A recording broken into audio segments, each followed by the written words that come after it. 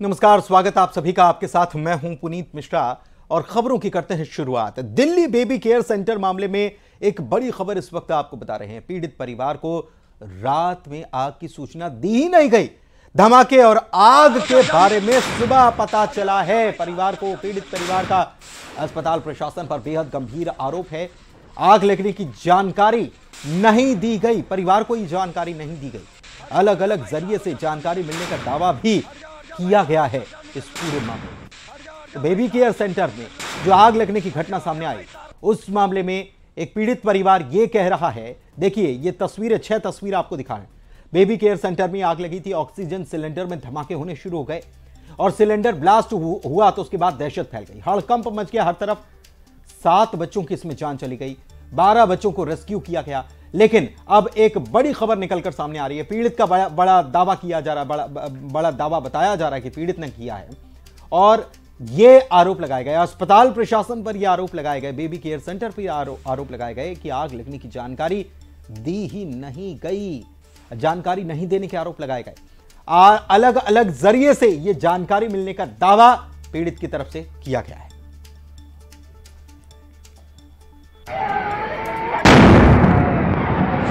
रखे।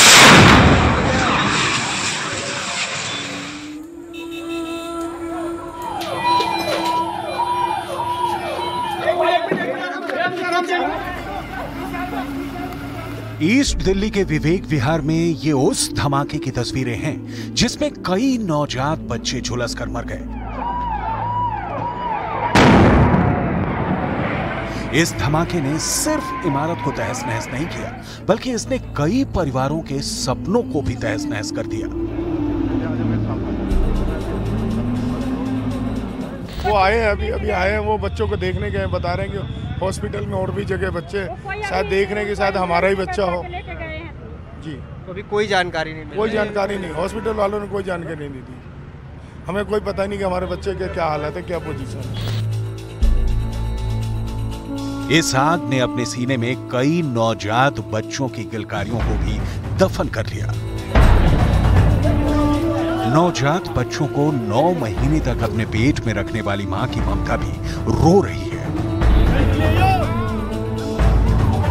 इन बच्चों के परिवारों पर जो बीत रही है, वो बहुत दर्दनाक है। इन सवालों का जवाब तो देना ही होगा। अभी मेरा बच्चा कहाँ है वो जानना ज़रूरी है।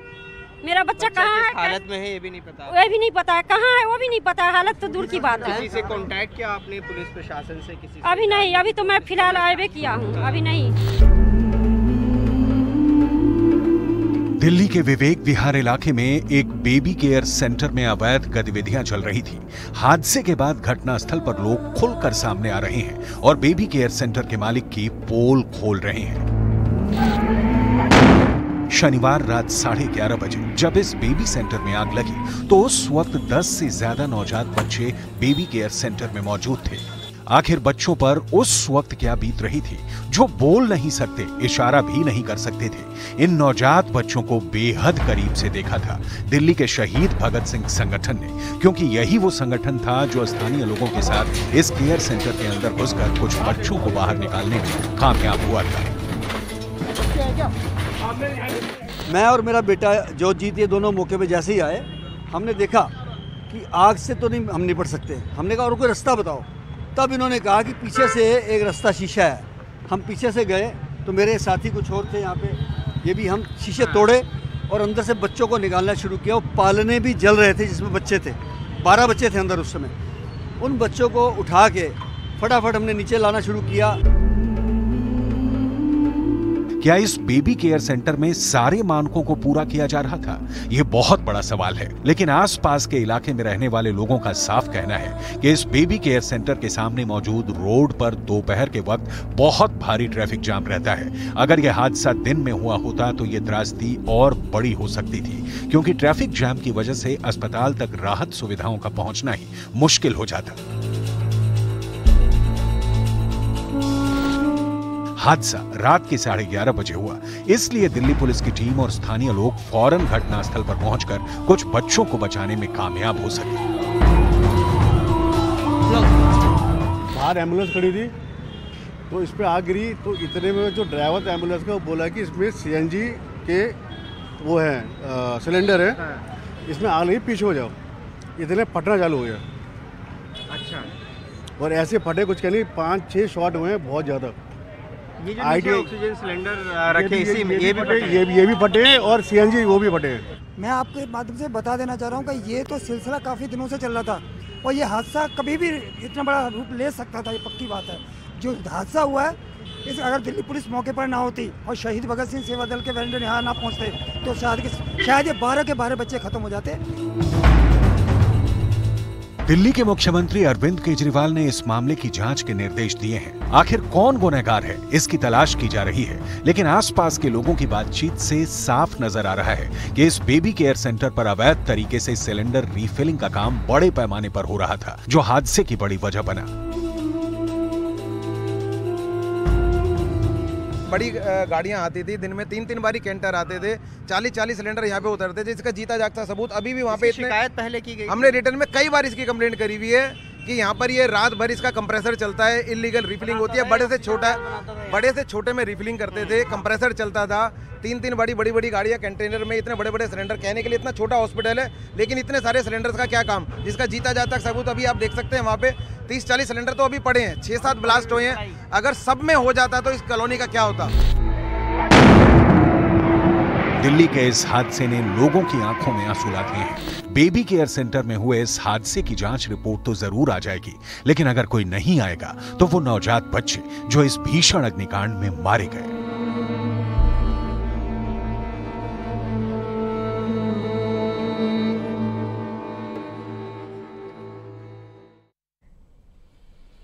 और दिल्ली बेबी केयर सेंटर के मामले में बड़ी खबर यही है कि पीड़ित परिवार को रात में आग की सूचना नहीं दी गई थी। और ये वाकई में बहुत गंभीर मामला है। बात अगली खबर की। राजकोट में गेमिंग जोन में भीषण आग लग गई। अग्निकांड में अब तक 32 लोगों की मौत हो चुकी है। मरने वालों में 10 बच्चे भी हैं। अब आपको इस रिपोर्ट के ज़रिए समझाते हैं कि राजकोट के गेमिंग जोन में यह भीषण अग्निकांड कैसे हो गया और इस हादसे के पीछे किसकी लापरवाही है और कितने किरदार हैं?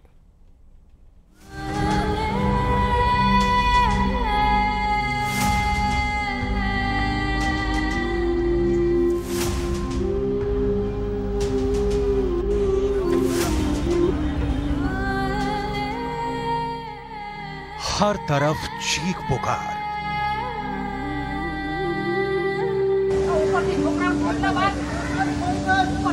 हर ओर मातम का शोर, नम आँखें बिलखते लोग दर्द से तड़पते, दम तोड़ती जाने। राजकोट से आई इन तस्वीरों को जिसने भी देखा, उसकी रूह काँप गई। शनिवार की शाम का वो मनहूस वक्त था, जब राख में तब्दील हो चुके राजकोट के इस गेमिंग जोन में खुशियाँ ही खुशियाँ थी। बच्चे खेल में मशगूल थे तो उनके माता पिता उनकी खुशी में खुश थे। तभी अचानक से आग की लपटें उठी और पल भर में खुशी मातम में बदल गई। इस अग्निकांड के बाद प्रशासन फ़ौरन एक्शन में आया। दमकल की गाड़ियाँ आई। जो बचे थे, उनको निकालने की कवायदें हुई। जिनकी साँसें थम चुकी थी, उनके मृत शरीर को निकाला जाने लगा। कुछ लोगों के शरीर इस तरह से जल चुके थे कि उनकी पहचान के लिए डीएनए टेस्ट किया जाएगा। ऐसे में सवाल यह है कि आखिर इतनी चीखों इतनी मौतों का जिम्मेदार कौन है? राजकोट हादसे का गुनहगार कौन है? गेमिंग जोन में हुई अग्निकांड के कितने किरदार हैं? और इस हादसे के पीछे किसकी लापरवाही है? जानकारी के मुताबिक आग लगने के बाद ये तेज़ी से फैल गई। इस आग को ज़्यादा फैलने में गेम जोन को चलाने वाले जिम्मेदार थे। क्योंकि जो जानकारी सामने आई, उसके मुताबिक गेमिंग जोन में जनरेटर के लिए 1500 से 2000 लीटर डीजल इकट्ठा किया गया था। यही नहीं, वहाँ पर हज़ार से 1500 लीटर पेट्रोल भी जमा किया गया था।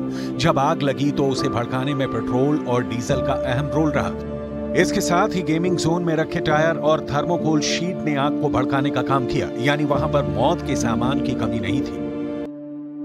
चूँकि शनिवार का वक्त था और गेम जोन में निन्यानवे रुपए एंट्री फ़ीस थी। इसलिए वहाँ पर बड़ी संख्या में लोग मौजूद थे और आग लगने के बाद लोग निकल नहीं पाए, क्योंकि गेमिंग जोन को तैयार करने में भीषण लापरवाही बरती गई थी। गेमिंग जोन की एंट्री और एग्जिट के लिए छह से सात फीट का एक ही गेट था। यानी कोई भी इमरजेंसी गेट नहीं होने से वहाँ से लोगों का निकल पाना मुनासिब नहीं हो पाया।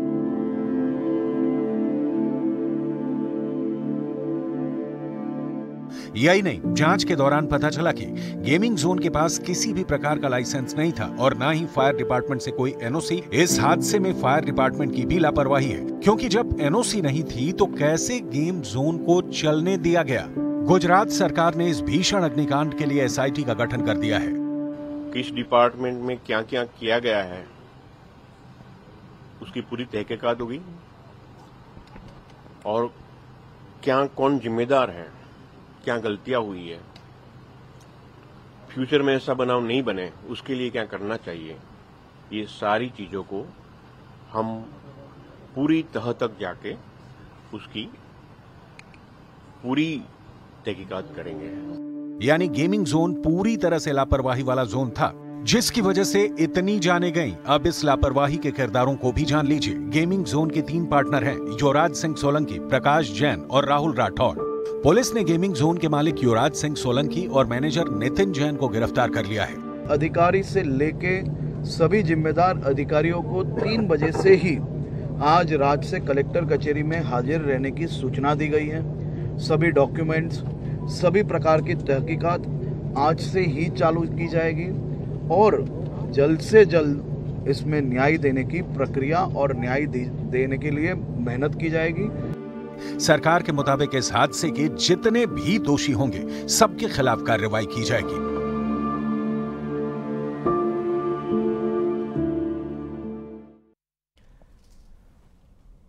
पाकिस्तान किसी भी वक्त खुद को दिवालिया घोषित करने की हालत में पहुँच गया है। नया बेल आउट पैकेज देने के लिए आईएमएफ की जो टीम इस्लामाबाद पहुँची थी, वो बेरंग वापस लौट गई। पाकिस्तान को आईएमएफ ने छह शर्तें मानने के लिए कहा। पाकिस्तान ये शर्तें मानता है तो देश में जिस आटे दाल का भाव अभी आसमान पर है, वो जनता को मिलना तक मुश्किल हो जाना है। देखिए।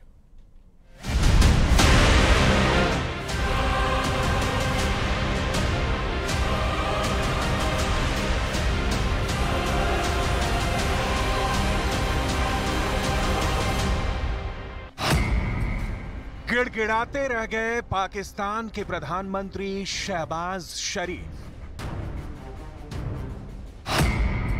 आईएमएफ अधिकारियों ने अनसुनी कर दी पाकिस्तान की फरियाद। और कर्ज मांगने से पहले मिल चुके कर्ज को चुकता करने का दिया ऑर्डर। पाकिस्तान की खुद को दिवालिया घोषित करने की तैयारी शुरू हो चुकी है।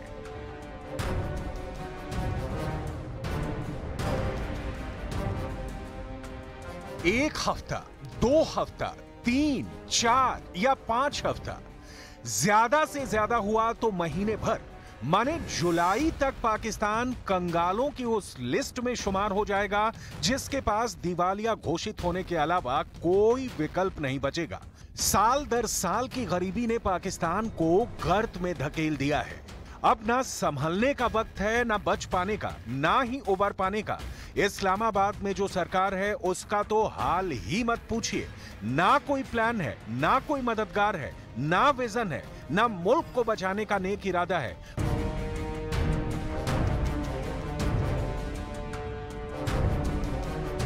पाकिस्तान पहले से लिए कर्ज की मार से करा रहा है। कर्ज लौटाने की बात तो जाने दीजिए। उसका सूद चुकाने का पैसा भी पाकिस्तान के खजाने में नहीं बचा है। देश का ऐसा कोई सेक्टर नहीं है जो बंदी के कगार पर नहीं है। सरकार किसी तरह से दुनिया के बड़े बड़े आर्थिक संसाधनों से कर्ज लेकर अब तक अर्थव्यवस्था की गाड़ी खींच रही थी। लेकिन कर्ज देने वालों ने साफ़ इनकार कर दिया है। आईएमएफ ने पाकिस्तान को ऐसे समय में झटका दिया है जब महँगाई सिर चढ़कर बोल रही है। आटा चावल से लेकर रसोई गैस तक आम लोगों की पहुँच से दूर होते जा रहे हैं। पाकिस्तान के कब्जे वाले कश्मीर के साथ ही देश के दूसरे हिस्सों में महँगाई के विरोध में और सरकार के निकम्मेपन को लेकर हिंसक विरोध प्रदर्शन हो रहे हैं। शहबाज शरीफ की सरकार के पास और कर्ज मांगने के अलावा कोई दूसरा रास्ता नहीं बचा है। आईएमएफ ने कर्ज के लिए पाकिस्तान के सामने छह शर्तें रखी हैं। रेवेन्यू जनरेशन के लिए टैक्स सिस्टम में सुधार। सामाजिक सुरक्षा और जलवायु सुधार के लिए नीति। ऊर्जा क्षेत्र में सुधार ताकि कीमतों को कम किया जा सके। महँगाई पर काबू के लिए एक्सचेंज रेट पॉलिसी में सुधार। सरकारी कंपनियों में स्ट्रक्चरल सुधार और निजीकरण को बढ़ावा। सरकारी कामकाज में सुधार। ये बड़ी शर्तें हो सकती हैं, लेकिन पाकिस्तान के लिए कड़ी शर्तें कतई नहीं है। आईएमएफ ने इसके पहले भी पाकिस्तान को कर्ज देने के लिए ऐसी ही शर्तें रखी थी, जिसका खामियाजा अभी पाकिस्तान को भुगतना पड़ रहा है। और अब नई शर्तें। पिछले साल आईएमएफ ने जो बेल आउट पैकेज दिया था, उसमें जो शर्तें रखी गई थी, उसे देख लीजिए। आईएमएफ ने हर तरह की सब्सिडी खत्म करने पेट्रोल, डीजल और बिजली की दरें बढ़ाने, टैक्स कलेक्शन में 10 फ़ीसदी तक इजाफा करने जैसी शर्तें लगाई थी। पाकिस्तान सरकार ने सारी शर्तें मानी, जिसका नतीजा हुआ कि जनता पर बोझ बढ़ता चला गया। लेकिन चूँकि कर्ज लेने के बाद चुकाना भी होता है तो पाकिस्तान का तो खजाना ही खाली है। शहबाज शरीफ के सामने सवाल है की जाए तो जाए कहाँ? गंभीर आर्थिक संकट झेल रहे पाकिस्तान को तत्काल आर्थिक मदद की ज़रूरत है। विदेशी मुद्रा भंडार लगातार सिमटता जा रहा है, जिससे नए तरह के संकट का सामना करना पड़ सकता है। मतलब गिनते रह जाएँगे। आसान शब्दों में बता दें कि ये रकम 103.38 लाख करोड़ रुपए भारतीय रुपयों में है। ये पाकिस्तान पर विदेशी कर्ज बकाया है। पाकिस्तान कहाँ से चुकाएगा इसे? समझने के लिए किसी भी अर्थशास्त्री को रॉकेट साइंस का ज्ञान होना ज़रूरी है। जैसे पाकिस्तान जो चीज़ एक्सपोर्ट करता है, उसमें सबसे बड़ी मात्रा है टेक्सटाइल उद्योग की। और इसका हाल यह है कि ये बंद हो रहा है, क्योंकि सरकार बिजली पर इतना टैक्स बढ़ा चुकी है कि व्यापारियों की कमर टूट चुकी है। सवाल है, फिर पाकिस्तान क्या कर्ज के जाल में उलझकर दम तोड़ देगा? चीन पाकिस्तान का अंतिम विकल्प है, जिसके सामने शहबाज शरीफ कटोरा लेकर कभी भी प्रकट हो सकते हैं। चीन कई सारे प्रोजेक्ट पाकिस्तान में चला रहा है, जिसका फ़ायदा चीन को होना है। कर्ज और हिंदुस्तान के खिलाफ मदद की आस में पाकिस्तान चीन का सहयोग करता रहा है। चीन इसका ज़बरदस्त फ़ायदा उठाता है। चीन अपने कर्ज के जाल में फंसाकर देश की संपत्ति पर कुछ हद तक अपना अधिकार कर लेता है, जैसा श्रीलंका के साथ हुआ। पाकिस्तान के साथ ही कुछ ऐसा ही होने की आशंका पैदा हो गई है। डर है कि कर्ज के चक्कर में पाकिस्तान के हुक्मरान कहीं मुल्क का सौदा न कर ले।